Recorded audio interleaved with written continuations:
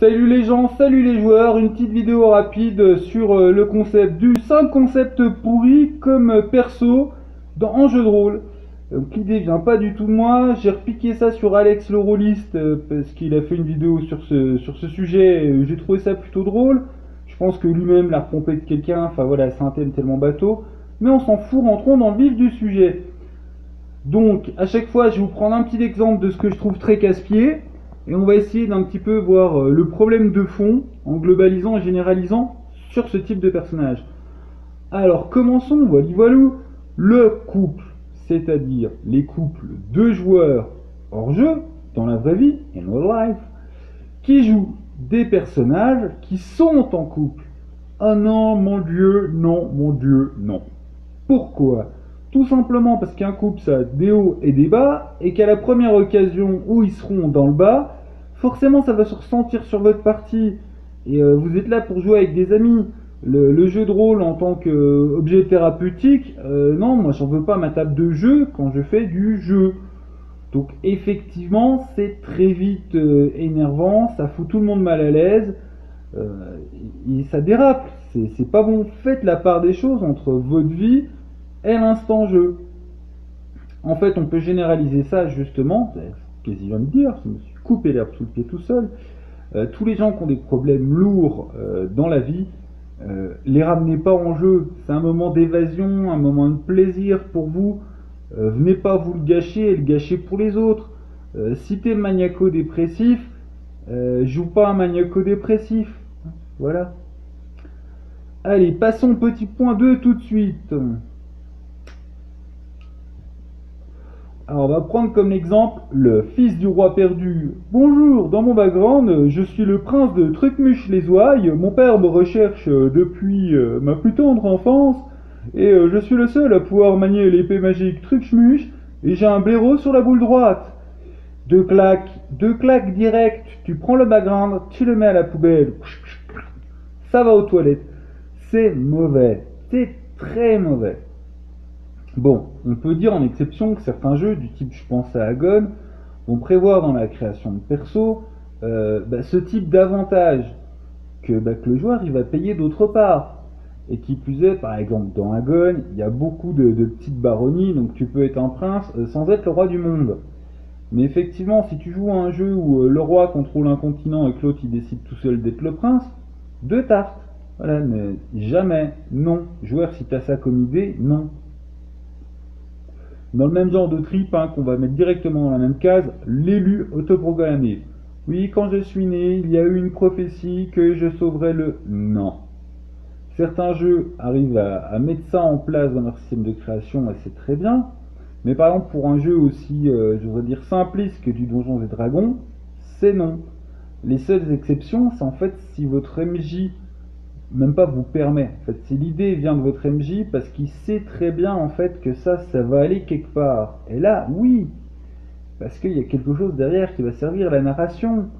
Euh, si toi, tu as vraiment envie de jouer ça, à la rigueur, et que c'est pas euh, juste un, délire de, touche pipi, parle-en à ton MJ et vois ce que tu peux faire. Mais le problème de fond qu'il y a là derrière, tous les petits gros billes et gratteurs qui cherchent par le background à cheater leur perso avoir du pouvoir qu'ils ne devraient pas avoir et être plus fort que les autres. Non, non, non. Euh, là, on commence à être bien dans l'anti-jeu et on ne cherche pas à être plus fort que les autres en utilisant le background pour faire le petit merdeux. Voilà. Donc, tous les fils de roi perdus, princes oubliés, manieurs et élus d'épée magique, comme ça par background autoproclamé, poubelle.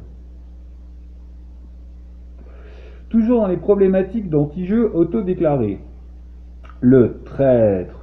Alors attention, le traître, faut être très nuancé. Certains jeux vont euh, créer, gérer la rivalité entre personnages. C'est complètement compris dans, la nature du jeu.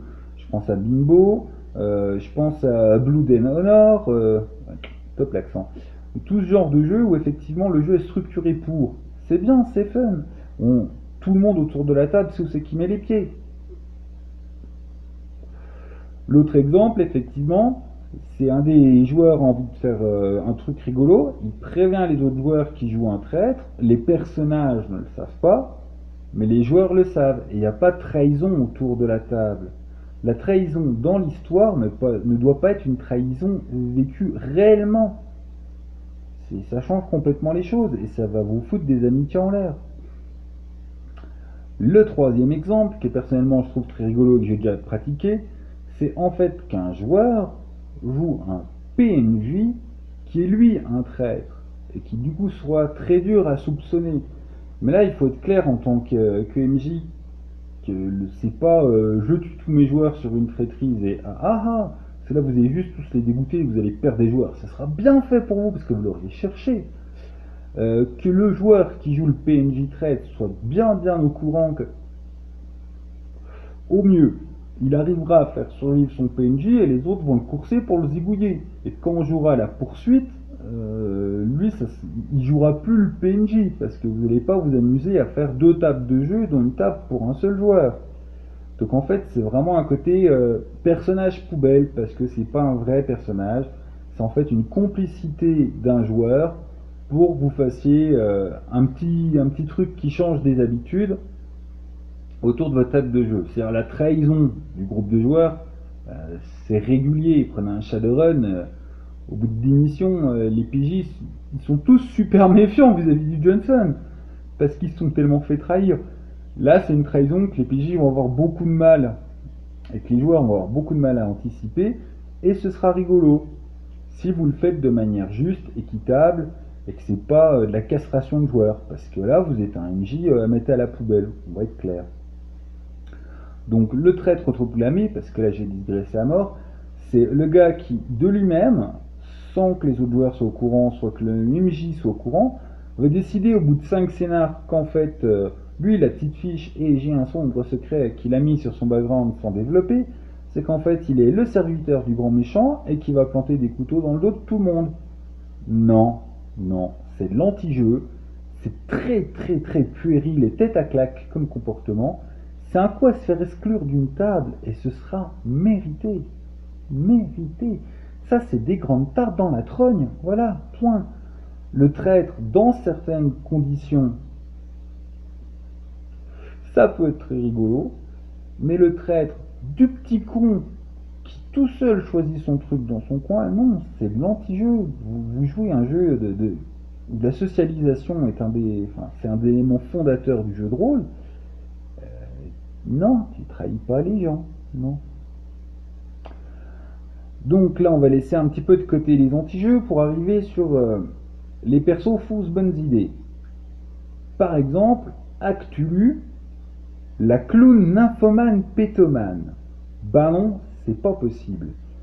Parce qu'au premier scénario, déjà on va se demander qu'est-ce qu'elle fout dans une enquête, hein, à part euh, tuer sa sœur et que la police s'en fout, ou la disparition de donc bidule une clown nymphomane pétomane n'a aucune raison d'être dans une enquête de Cthulhu, et qui plus est, à la première euh, confrontation de ce type de personnage avec une créature du mythe, et bah, il est plus du tout, euh, voilà, elle sera peut-être nymphomane, mais elle ne sera plus une clown pétomane. Donc c'est très mauvaise idée. Et d'un point de vue global, c'est une mauvaise idée en fait d'avoir un personnage qui n'est pas en adéquation avec le monde. D'un autre exemple de Cthulhu qui est un jeu d'enquête et qui est un jeu d'horreur, bah, vous prenez pas un guignol qui aurait sa place dans Innominé Satanis, voilà. Une, clown démon nymphomane pétomane dans Innominé, ça a totalement sa place. Euh, dans Toon aussi, ça a sa place. Ça a sa place dans tous les jeux euh, qui ont un aspect drôle. Dans un jeu qui est du type sérieux, c'est pas possible. Vous foutez l'ambiance en l'air. Et c'est ça ce que je vais appeler les, les personnages en dichotomie c'est-à-dire entre le personnage et le monde, il y a une inadéquation. Ça, ça, colle pas ensemble. Et ça, c'est poubelle. C'est pas le personnage en soi qui est mauvais, c'est que le personnage ne va tout simplement pas du tout, du tout cadrer avec, euh, bah, avec la séance de jeu. Et puis c'est tout. Voilà. Donc ça, poubelle. Et enfin, dans les persos, j'oserais dire chiant malgré, euh, malgré eux, et euh, je tiens à remercier Cassius de où il y a très très longtemps. Euh, c'est les personnages, leur piquerai l'expression de Cassius, couteau suisse. C'est-à-dire, c'est le personnage, enfin le joueur qui veut un personnage qui sait un peu tout faire. Non, pour deux raisons. Un, soit il sait vraiment un peu tout faire et il a aucune raison, à part qu'il ait des potes, d'être dans un groupe, parce qu'il n'a pas besoin des autres en fait. Soit en fait, bah, justement, à vouloir savoir un peu tout faire, il sera juste nul en tout et il servira à rien. Et au final, le joueur va se faire chier et il va vous pourrir l'ambiance. Un groupe de, jeux de rôle, justement, bah, il y a cette notion d'interdépendance euh, des, personnages entre eux. S'ils sont ensemble, il y a bien une raison pour laquelle ils sont ensemble. Et du coup, le, perso couteau suisse, c'est une très mauvaise idée parce qu'il va créer soit de l'exclusion, soit de l'inutilité il faut typer un peu vos persos, non pas euh, parce que parce que c'est une règle de Dieu, mais parce que ça va être utile dans, la partie, ça va vous inclure dans le groupe. C'est tout con, mais bon, par exemple, les, euh, les jeunes, expliquez, leur ça avec n'importe quel euh, MMO RPG là. Il y, a des fonctions dans le groupe. T'as le tank, t'as le healer, t'as le caster, t'as le damage dealer. Ben, c'est un peu ça, tu peux pas tout faire à la fois, tout simplement. T'es une partie, d'un groupe qui, lui, est censé être, euh, si ce n'est polyvalent, en tout cas autonome. Mais si toi, en termes d'individu, tu es totalement autonome, ça marche pas. Ce qui, d'ailleurs, à ne pas du tout confondre avec les héros sombres et solitaires. Mon perso, il me tape sur les nerfs, mais d'un autre côté, euh, il y a plein de manières de lier un héros sombre et solitaire avec le reste du groupe, et où ça va justifier dans son background que ce soit un rebelle, mais pour une raison X ou Y, ben, il aura besoin de l'aide des autres euh, pour arriver à ses objectifs.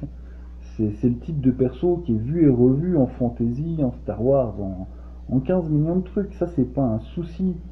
Euh, mais en soi, un personnage qui n'a pas besoin des autres est un problème à moyen terme.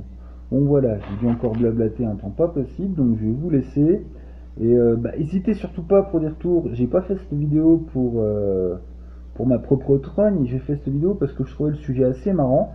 Et j'aimerais bien avoir des retours de bah, tout simplement de MJ sur euh, c'est quoi ce que les persos qui ont été les plus tête à claque à vos tables, des retours de joueurs sur euh, tiens moi j'ai essayé tel type de perso mais c'était vraiment de la drouille et de la grosse merde. Voilà, le but c'est un petit peu de dialogue. Bon, ciao les gens